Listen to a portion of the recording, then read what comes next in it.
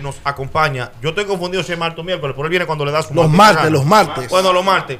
Y ahora más con ese peluquín. No, peluquín Y- no, y- peluquín no. y entonces- Julio. Un injerto, un Sí. Julio, el nuevo look Ok. de Ya. Nicolás Díaz Margaro. Exactamente. La, la nueva imagen. La nueva imagen de Nicolás Díaz Margaro, que ahorita estaba analizando, por ejemplo, la situación económica del país, la diferencia en la balanza de pagos, los aranceles, y ahora viene con otro análisis. Fíjate, Julio, primeramente déjame decirle a cada uno de ustedes, al señor Samuel Mato, Sí.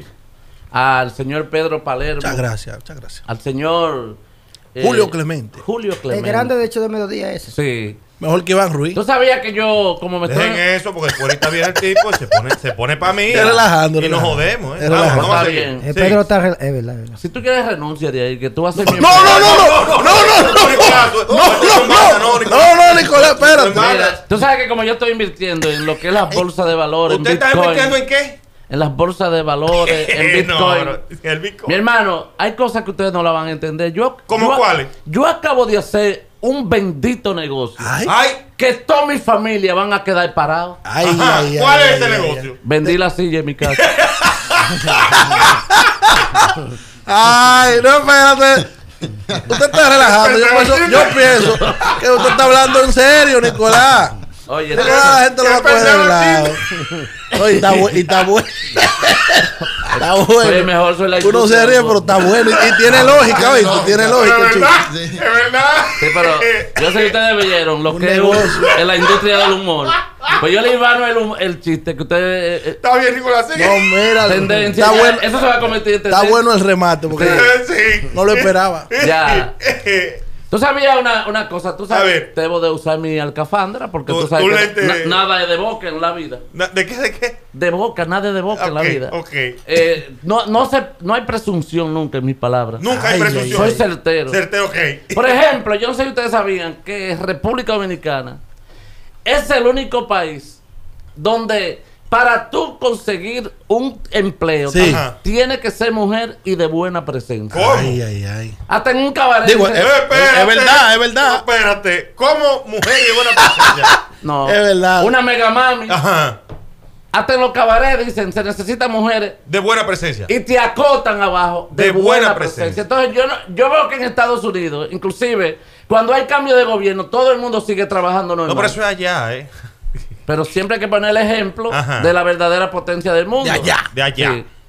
Después otra cosa. Aquí, desde de los 12 años hasta los 18, los adolescentes o los mozalbetes son nini. Lomo salvete. son nini. Ni, ni, trabajan ni estudian. Ni trabajan Ni ni estudian. Ajá. Pero oye lo bonito. A ver, ¿qué es lo Lo bonito? bonito, lo bonito. De los 20 a los 35 años, Ajá. nadie consigue un trabajo si no tiene un padrino.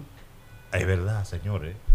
Está- Uno relaja, pero es verdad. Pero no solamente, no obstante a eso, Ajá. a los 50 años, Ajá. ya tú estás muy viejo para trabajar en este país. Pero a los 65 años tú estás muy joven para recibir una pensión. Señores, país. Señores, Son lógicas. señores, la lógica de Margaro se llama. ¿Y qué, y qué país del diablo?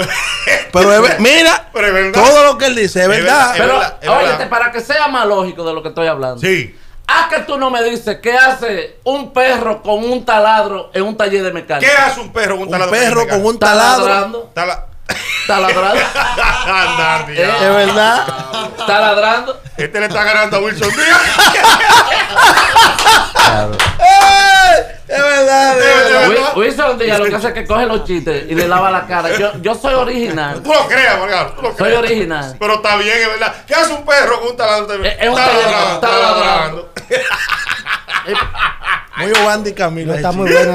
Y al final cuando y al final cuando te, y al final cuando te, cuando se muere el viejo, no le quieren dar los cuartos a la familia. Es verdad, la, la vaina de la pensión. Dícese Llegó Nader, a mi, eh, mi Pero suegra. dijo, óyete, el que inventó el dominó se llamaba Capicúa. Ajá.